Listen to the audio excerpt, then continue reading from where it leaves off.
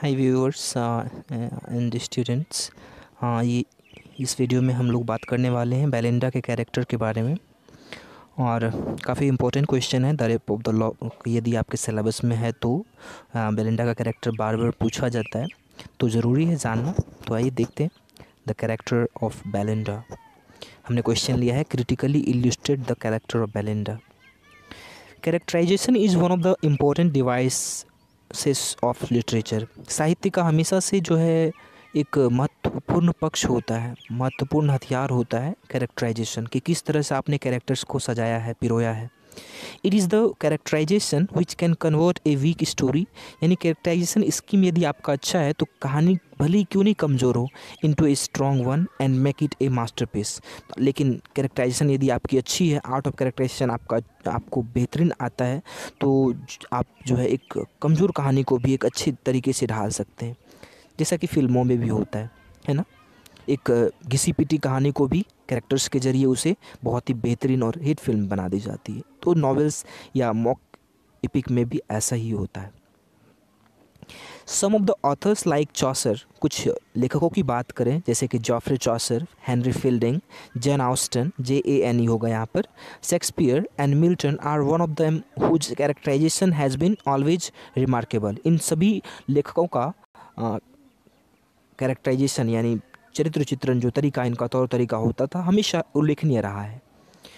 Pope is also one of them और उनमें से पोप की भी गिनती की जाती है।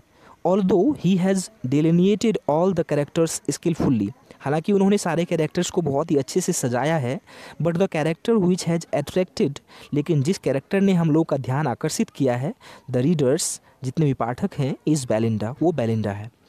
Pope has used the whole of his energy उसने पूरी ऊर्जा का इस्तेमाल किया है एंड नॉलेज और पूरी अपनी जानकारी का भी इस्तेमाल किया है to make her a forceful character एक ज़बरदस्त सा पात्र बनाने के लिए। Belinda is central figure in Pope's poem Pope की कविता में एक सेंट्रल फिगर के तौर पर बेलिंडा को दिखाया गया है। इट इज़ सेड दैट और यह कहा जाता है कि she is the main but mean character of the poem वो एक मुख्य पात्र ही नहीं, बल्कि उसी पर जो है यह पूरा मॉक हीरोइक इपिक जो है टिका हुआ है। She is introduced in the poem as a paragon of beauty and female charm यानी एक कह सकते हैं कि एक आदर्श के तौर पर उन्हें दिखाया गया है, सुंदरता के आदर्श के तौर पर और फीमेल चार्म खर के, खास करके जो महिलाओं की जो सुंदरता होती है। She is not only a priest वह एक सिर्फ़ पुजारी ही नहीं but she is also compare to a warrior वो ऐसे एक योद्धा के तौर पर भी दिखाया गया है। आर्मिंग फॉर द बैटल जो कि युद्ध के लिए तैयार है। For the battle she emerges as a heroic figure और युद्ध के लिए जो है, वह एक बहुत ही बेहतरीन फिगर के साथ तैयार होती है।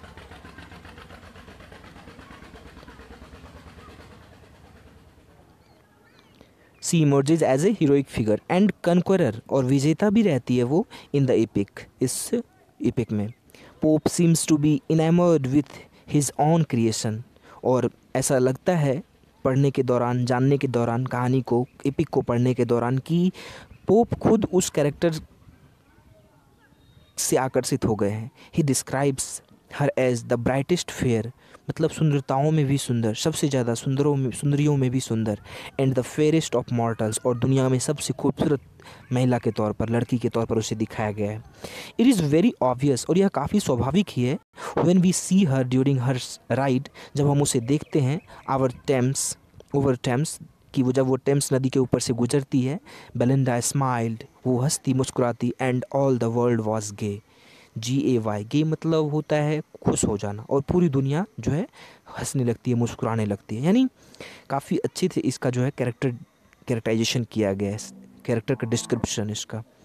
इन पोप्स एज पोप के समय में लेट स्लीपिंग देर रात सोना एंड लेट राइजिंग और देर से जगना were common among the ladies महिलाओं के बीच काफ़ी आम बात थी। ऑफ़ एरिस्टोक्रेटिक क्लासेस और ख़ास करके जब हम राजशाही परिवारों की बात करें तो। Belinda is the representative of such women और उन्हीं तरह की महिलाओं में जो है बेलिंडा गिनी जाती हैं। She gets up at twelve o'clock वह बारह बजे जगती हैं दोपहर में। Even she is not fully awake और तब भी वो पूरी तरह से जगती नहीं है। Rather she regards herself as sleepless beloved ऐसा लगता है उन्हें नींद से काफ़ी ज़्यादा प्रेम है। नाउ लैप देखिए, यहाँ पर एक लाइन मैंने उठाया हुआ है। Lap dogs give themselves the rousing sick and sleepless lovers just at twelve awake उसके जो पेट हैं डॉग्स हैं, उसे जो है जगाने का प्रयास करते हैं, लेकिन वो जगती नहीं है। उसे और भी सोने का, सोने की इच्छा होती है उनकी। Second prominent aspect of the women of Pope's age Pope के समय की जो दूसरी मुख्य बातें हैं महिलाओं की was that they were fond of decorating themselves खुद को सजाने की शौकीन होती थी। हमेशा से जैसा कि होता आया है टू विन द अटेंशन क्यों? कि ताकि ध्यान आकर्षित कर सके सबों का। और यही होता है पर्पस हमेशा। Belinda as a representative of the women of that age और उस दौर की महिलाओं के रिप्रेजेंटेटिव के तौर पर स्पेंड्स टू मच टाइम बहुत सारा समय व्यतीत करती हैं इन हर ड्रेसिंग रूम अपने आ, कपड़े पहनने में ड्रेसिंग रूम में। Her jewels from India perfumes and Arab from Arabia मतलब समझ सकते हैं। उसके सजावट के सामान India Arabia spotted combs made of tortoise shell and ivory and shining pins third important feature of the women of Pope's time was that they were vain and proud मतलब उनकी एक और जो कह सकते हैं, खासियत कहें या बुराई कहें, जो भी कहें, या कोई भी पहलू कहें तो वो बेकार होती थी दिखने में, लेकिन उन्हें काफ़ी ज़्यादा घमंड होता था, घमंडी होती थी। Belinda is also proud and arrogant वो भी काफ़ी घमंडी और गुस्सेल टाइप की हैं। She is called fairest of mortals during the journey she fixes her eyes on a specific person अपनी यात्रा के दौरान किसी खास व्यक्ति पर वो अपना नज़र जमाती हैं but does not show her favours लेकिन वो कभी दिखाती नहीं है ऐसा टू एनी किसी के भी सामने। However she smiles to all of them in thankfulness और जवाब में ये सबके प्रति अपना मुस्कुराया हुआ चेहरा ही सामने लाती हैं। Another important feature of the aristocratic women और राजशाही महिलाओं की जो एक और ख़ास बात है was that they knew all the tricks to attract all young gallants यानी जितने भी यंग गैलेंट्स हैं, उनको आकर्षित करने का इनके पास बहुत सारा तरीका होता था। Belinda also knows these tricks और बेलिंडा को भी स्वाभाविक है, पता है टू ट्रैप फंसाने के यंग गैलेंट्स युवकों को फंसाने के सारे तरीके। एंड नरिस्ड टू लॉक्स और यही कारण है कि उसने दो लटें जो है, बढ़ाई है। नरिश मतलब होता है ग्रो करना which add charm to her beauty जो कि उसकी सुंदरता में चार चाँद लगा देती हैं। अब एक और लाइन देखेंगे हम लोग। This nymph to the destruction of mankind और यह क्यों है? यह मानव जाति के विनाश के लिए है। Nourish two locks which gracefully hung behind जो कि उसके चेहरे के बगल में लटकती हैं।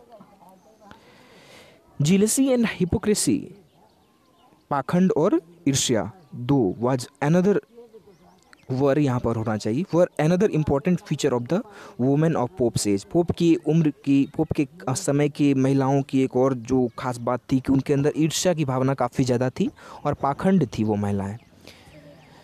Belinda is also a girl वह भी एक लड़की है ऑफ़ डबल स्टैंडर्ड मतलब डबल स्टैंडर्ड मतलब कह सकते दो मुहा सांप समझते हैं. यानी जो a women who use chances जो अपने मौके का फ़ायदा उठा सकती है, यानी वो किसी एक बात पर टिकी नहीं रहती है. डबल स्टैंडर्ड इसे ही कहा जाता है. यानी अपने भाषा में कहें तो चालू, है ना, चालू लड़की. थोड़ा अजीब सा लगता है बट ऐसा ही कुछ मीनिंग है इनका. Outwardly she is trying to pretend false वो हमेशा जो है झूठ मूठ की मॉडेस्टी फॉल्स मॉडेस्टी झूठी मर्यादा दिखाने का प्रयास करती हैं बट इनवार्डली लेकिन अंदर से she wishes to be in the company of the young man वो मर्दों के बीच रहना चाहती हैं, युवकों के बीच रहना चाहती हैं। She desires that her favourite lock should be cut और उसके मन में भी ये इच्छा है कि उसकी लटें काट लिया जाए। मतलब वो चाहती हैं और उससे ऐसा फील होता है कि काश किसी को ये लट इतना पसंद आ जाए कि वो आए और काट ले।